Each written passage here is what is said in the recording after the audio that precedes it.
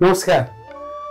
तपाईँहरू माझ आइरहेको विजयदशमी दुई हजार एकासी दिपावली नेपाल सम्बन्ध एघार सय पैँतालिस तथा छठ पर्वको उपलक्ष्यमा सम्पूर्ण आदरणीय अभिभावकज्यूहरू र चन्दागिरी नगरपालिकामा बस्नुहुने सम्पूर्ण चन्दागिरी नगरका बासिन्दाहरू नेपालमा रहनुभएका सम्पूर्ण नेपाली दाजुभाइ दिदीबहिनीहरू र स्वदेश तथा विदेशमा रहनुहुने सम्पूर्णलाई ब्राइट फ्युचर माविको तर्फबाट हार्दिक मङ्गलमय शुभकामना। साथै नेपाल राष्ट्रिय परीक्षा बोर्डको तर्फबाट पनि हार्दिक मङ्गलमय शुभकामना दिन चाहन्छु।